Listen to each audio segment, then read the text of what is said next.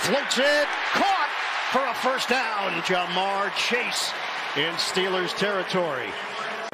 Yeah, maybe check the Pirates schedule. First down.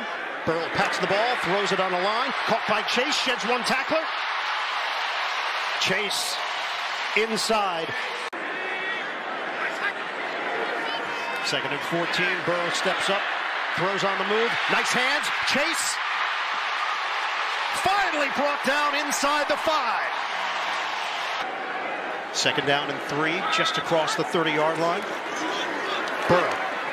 This time he's got the time and hits his man, Ja'Marr Chase, just across the line again. That's four yards. We send it down to Evan.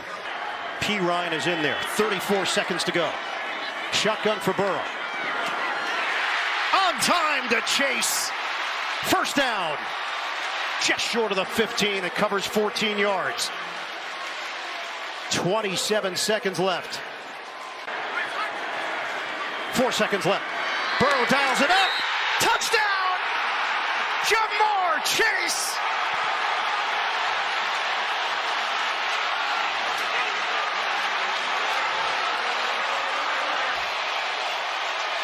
They turned it into a one-on-one route against Ahkello Witherspoon and the timing between Chase and Burrow.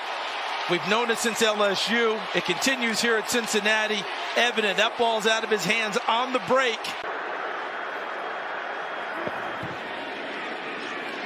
Burrow slings it. Chase. Chase to the 27. First and 10. Chase. Course, we were here last year during the playoffs when we saw so far out with a concussion during last week's game. Here's the third and five. And Chase has enough for the first in front of Donovan Wilson. Here's a second and six coming out of the two minute warning for Cincinnati. And they connect as Chase has his third catch. Cowboys surround him near the 30 yard line. Give him 12. Second and seven.